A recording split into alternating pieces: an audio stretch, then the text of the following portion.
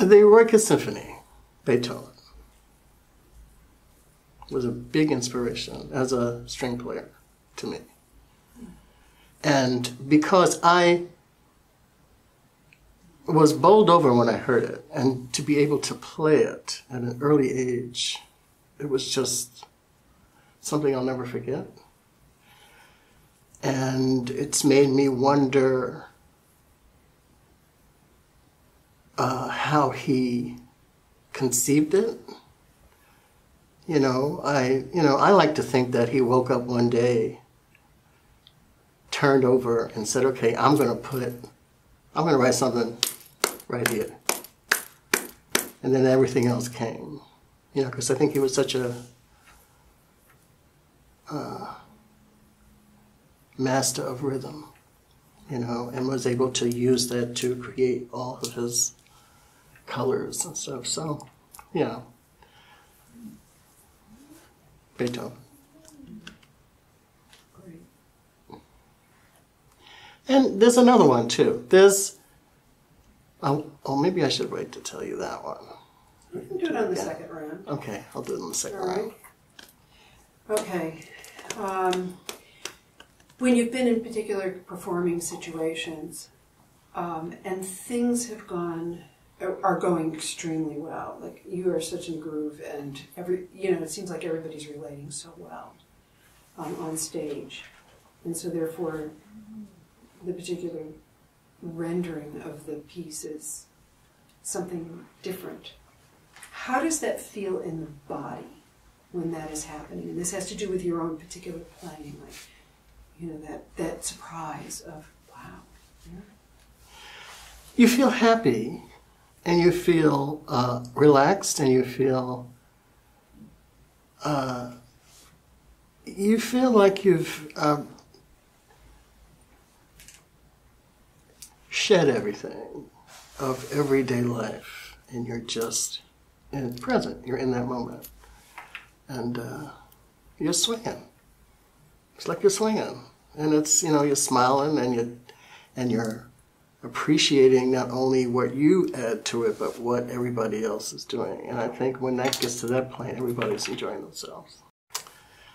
Uh, you know, music is a reflection of the human condition. And it's a reflection of,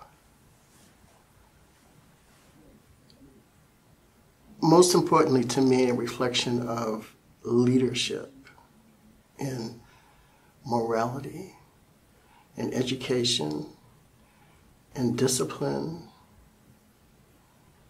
and responsibility because music leads you to, I think, a freedom. And freedom comes with responsibilities. So I've been in the room with certain artists who I consider totally free when they're performing. And, you know, I think about, as I'm watching, I think about what is it that has gotten them this far. So, especially my father, and playing with him and traveling with him, and watching what goes on before and after performance. And in the moment when he's performing, he's in the present, stripped of whatever burdens we all have artists are stripped of their burdens and they just soar in that moment because they have studied, they've mastered their instruments, and they can just do it. And that's that's what I mean. That, to be able to be free like that comes with the responsibility of studying your craft. So.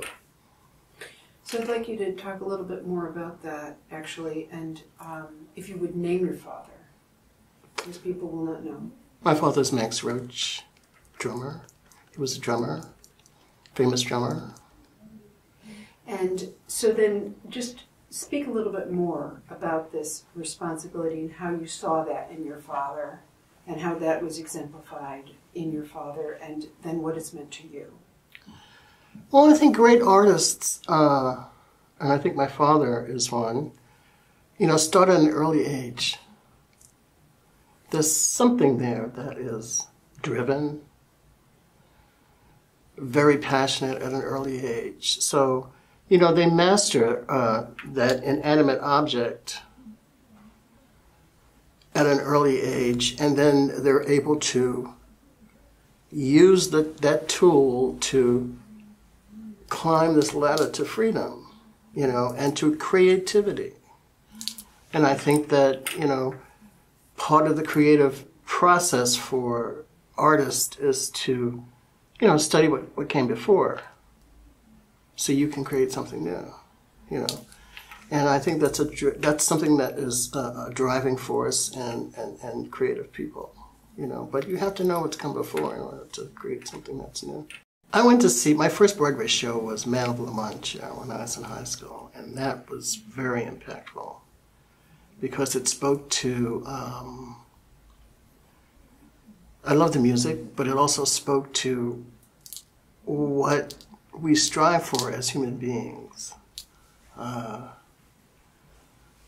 the morality, you know, the love.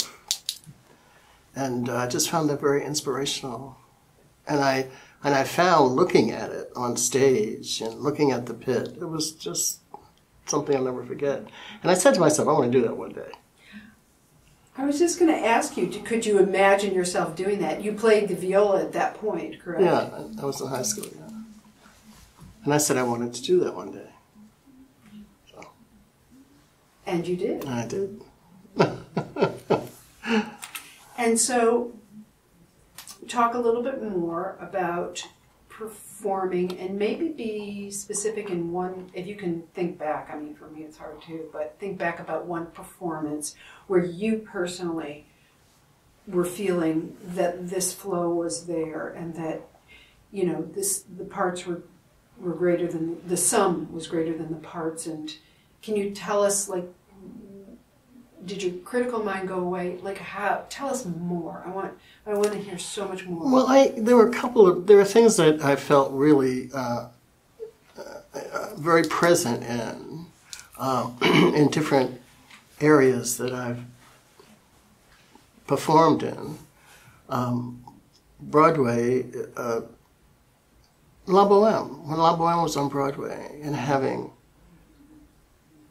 uh, the opportunity to play that in a chamber music kind of setting was really, really, really wonderful. And I looked forward to playing it uh, every night and having Konstantin Kitsopoulos conduct. It was just really inspiring. It was very inspiring. And Baz Luhrmann's vision of the whole stage was just, you know, very creative, very new. Um,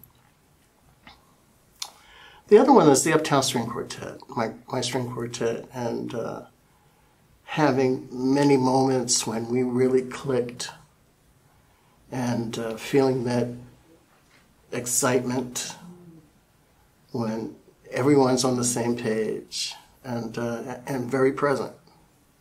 Uh, those are two things I remember. Why did you form that string quartet? I didn't form that string quartet. My father formed that string quartet.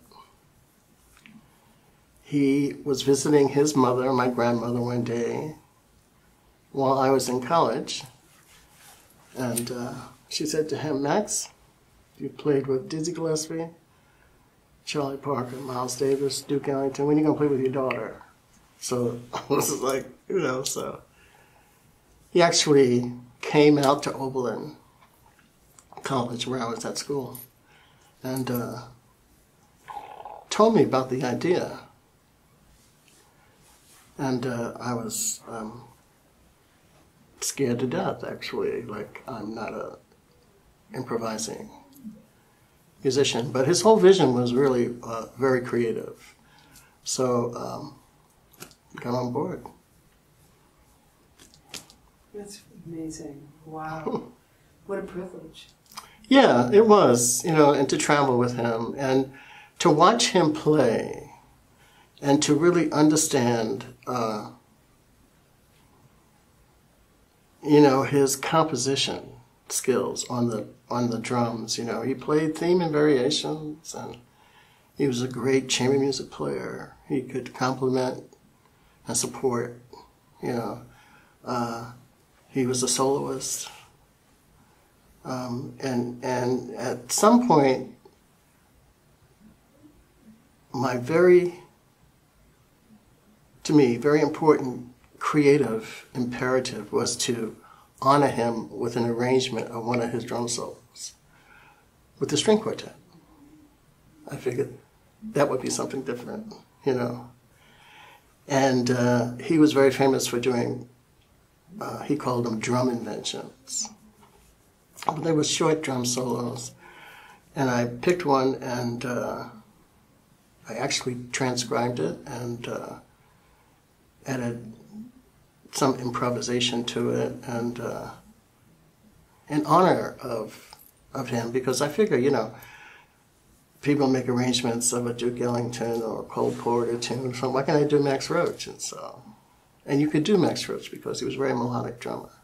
Yes, I remember the the first performance of um, my arrangement of one of my father's Max Roach's uh, drum solos, and it, and it was at the uh, Blue Note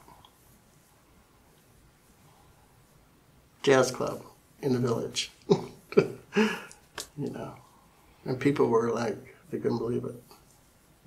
And it was interesting because he played his, he played it first to introduce us. He played it. Of course, he played it differently from what I did and from whatever he did before he played it. And then we played it, and it was just, you know, people really dug it. So. I'm curious, do people play that now, string quartets? No, it's not published, and um, you know, it's a it's a very percussive piece. You know, and you have to uh, you have to really understand what it is. Else, you know, some some some people are like some string players are like, you know, I, I play like this. I don't play like this. You know, so mm-hmm. it's hard to adjust, but you know, we did it. We did it for a while. I actually got nominated for a Grammy behind that piece. Wow. Who knows? It was crazy. That's crazy. So, it was it was it was a real inspiration for me because it was a real um, work of love, you know, and respect for this great musician my father. Well, music, uh, uh, uh, for me, music, but the arts are disciplines that are inclusive of different types of people all over the world. And that's important for all of us as human beings uh, so we don't um, so so so we're equal, you know, because once that thing comes together, where you're in a group of uh, musicians who are from different walks of life, different races, uh, from different parts of the world, and you're there uh, being inclusive and, and, and understanding and interpreting a piece of music together it strips away so much hate and struggle. And at least at one point you understand, you know, that the essential things about passion, love, and drive or struggle is universal, you know. And um, that's why it's important. The arts are important, and and we can be leaders, you know. Uh, and and, and uh, there have been wonderful leaders uh, who have have had a big impact on society. And I think you read into it. You know, art, uh, music allows you to be expressive, allows you to uh, let it flow from you. What is your passion, what concerns you, what makes you angry, what makes you happy, what makes you sad, you know. And those things, if done in an inclusive way, will bring people in, no matter who they are. My junior high school teacher inspired me greatly as a viola player. I started playing the viola in seventh grade. He was my orchestra teacher, seventh, eighth, and ninth grade. And he was very supportive of me. And uh, during my seventh year in, in junior high school, he introduced me to his father, who was a viola teacher, who was a professional. He actually worked on Broadway. I studied with him for six years through junior high school and high school. There was a moment in ninth grade when I was going to um, a junior high school in a black neighborhood in Brooklyn. Mr. Hirsch came to me and said, I am transferring to Midwood High School. And at that time, Midwood was one of the best schools in the city. And he says, I'm taking your records from the principal's office and don't tell anybody. Just show up at Midwood High School. And I really think that if it wasn't for that, I wouldn't be playing the viola. That was very, very impactful, you know.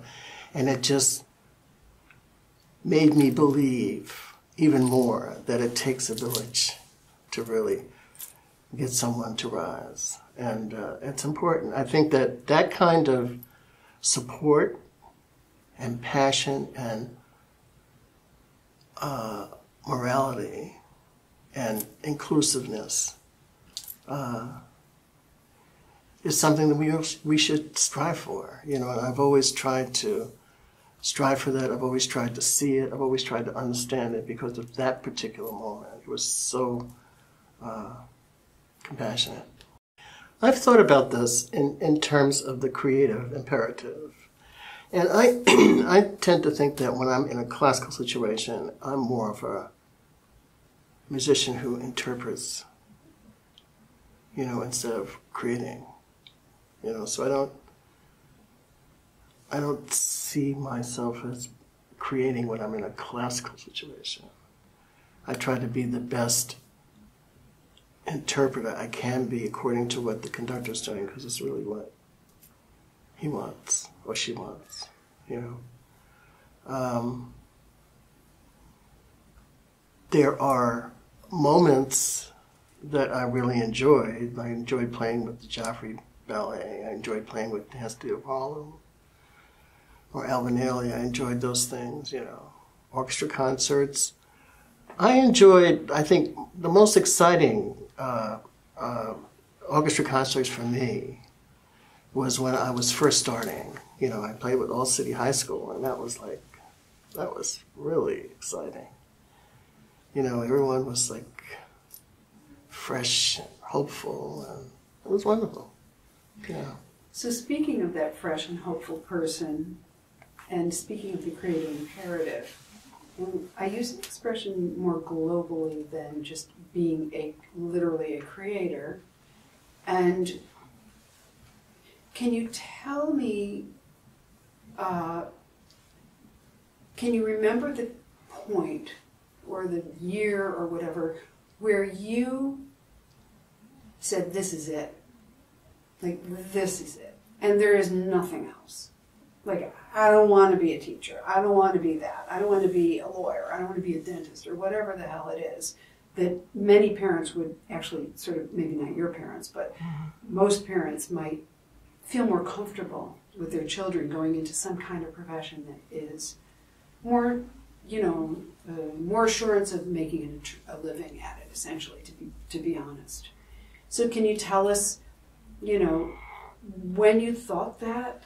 And were you conscious of thinking of it? I put words in your mouth. I don't know. I was conscious in high school. I wanted to play the viola. I wanted to be a musician. In fact, I wanted to be a musician before then because I used to play the guitar uh, before I played the viola. And I would sit and, you know, listen to, you know, folk music then, Bob Dylan and Eric Andersen. I mean, just, it was inspiring to listen to that music you know. And so I've always I've always wanted to be a musician. Can you remember back then what being a musician gave you as that young girl? What was it that, like, I got to get me some of that again and again and again? I think for me, as a black woman, as a black young girl, uh, faced with um, some challenges growing up in a black neighborhood, you, you, you tend to see the arts as a, a, a, um, an escape from from certain things. You know, not only that, but you listen to black artists who are inspiring. You know, and how music has ha, has lifted them up. You know, so there's that part of it. I think for me as a black person, it's like, you know, you do something that's impactful for other people who are struggling you know, and you do it in a way that's attractive and inclusive. Music is is is that, and not only that, but you know, as as you know, coming up during the civil rights movement or um, especially Vietnam, you know, listening to a lot of folk music and the protest music, and it was all good, you know, great musicians, but they had a message. You know, and that was at the time very, very impactful for people who struggle you know. I do. You know, I feel that um, I have to step up. You know, it's not about playing the viola anymore. And it is about playing the viola. It's about, it's not about playing the drums, but it is about playing the drums uh, or any instrument because playing an instrument, learning how to paint, learning how to dance, uh, learning how to sing, are tools that require critical thinking. In the digital world we have now, and the drive to dummy down education in this country critical thinking is not appreciated anymore. When you can just go to Google and get your answers by just clicking something, or if you grow up not hearing or seeing an artist play the violin or the cello and be able to say, he's a great athlete, or listening to an opera singer and saying he or she is a great athlete as well as an artist, and you're listening to just a keyboard playing music, I, you know, it's scary to me. It separates people. Uh, I have a passion for